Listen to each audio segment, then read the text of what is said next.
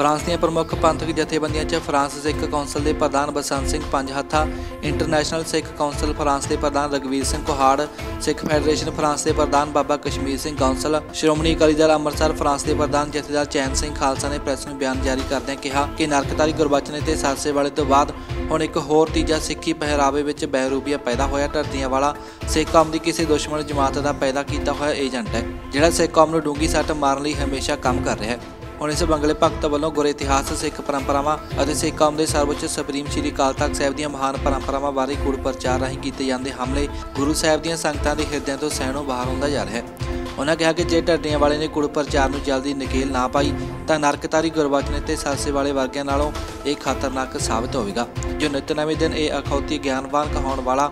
ਸਿੱਖ ਧਰਮ ਦੀਆਂ ਪਰੰਪਰਾਵਾਂ, ਗੁਰਮਤਿ ਸਿਧਾਂਤਾਂ, ਗੁਰ ਸਿੱਖ ਇਤਿਹਾਸ ਅਤੇ ਗੁਰੂ ਅਸਥਾਨਾਂ ਬਾਰੇ ਨਵੇਂ-ਨਵੇਂ ਵਿਵਾਦ ਪੈਦਾ ਕਰਕੇ, ਪੂਰੀ ਕੌਮ 'ਚ ਪੱਟੋ ਤਾੜ ਪੈਦਾ ਕਰਕੇ ਖੂਨੀ ਟਕਰਾਅ ਬਣਾਉਣ ਦੇ ਯਤਨ ਕਰ ਰਿਹਾ ਹੈ। ਜਥੇਬੰਦੀਆਂ ਦੇ ਆਗੂਆਂ ਨੇ ਕਿਹਾ ਕਿ ਹੁਣ ਤੱਕ ਸਿੱਖਾਂ ਵਿੱਚ ਕਿਹੜੇ ਵਿਦਵਾਨ, ਇਤਿਹਾਸਕਾਰ, ਹਿਸਟੋਰੀਅਨ, ਬੁੱਧੀਜੀਵੀ ਪੈਦਾ ਹੋ ਚੁੱਕੇ ਨੇ, ਗੁਰੂ ਕਾਲ ਤੋਂ ਚੱਲੀਆਂ ਆਉਂਦੀਆਂ ਪਰੰਪਰਾਵਾਂ, ਮਰਿਆਦਾ ਗੁਰਤਿਹਾਸ, ਸਿੱਖ ਇਤਿਹਾਸ ਬਾਰੇ ਕਿਸੇ ਨੇ ਉਂਗਲ ਨਹੀਂ ਉਠਾਈ, ਪਰ ਢੱਡੀਆਂ ਵਾਲਾ ਹੀ ਨਵਾਂ ਵਿਦਵਾਨ ਪੈਦਾ ਹੋਇਆ ਜਿਹੜਾ ਨਿਤ ਪ੍ਰਮਾਣਿਕ ਇਤਿਹਾਸਕ ਸਰੋਤਾਂ ਬਾਰੇ ਨਵਾਂ ਵਿਵਾਦ ਅਤੇ ਦੁਵਿਧਾ ਸੰਗਤਾਂ ਵਿੱਚ ਪੈਦਾ ਕਰ ਰਿਹਾ ਹੈ। ਉਕਤ ਨੇ ਇੰਗਲੈਂਡ ਦੀ ਪੰਥਕ ਜਥੇਬੰਦੀਆਂ ਅਤੇ ਗੁਰਦੁਆਰਾ ਸਾਹਿਬਾਨਾਂ ਵੱਲੋਂ ਢੱਡੀਆਂ ਵਾਲੇ ਅਤੇ ਨਿਰਵੈਰ ਜਥੇ ਦਾ ਬਾਈਕਾਟ ਕਰਨ ਬਾਰੇ ਸਰਬਸੰਮਤੀ ਨਾਲ ਕੀਤੇ ਮਤੇ ਪਾਸ ਦੀ ਭਰਪੂਰ ਸ਼ਲਾਘਾ ਕੀਤੀ।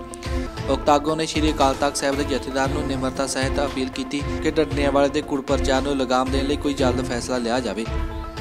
Bureau report Awaaze Kaum TV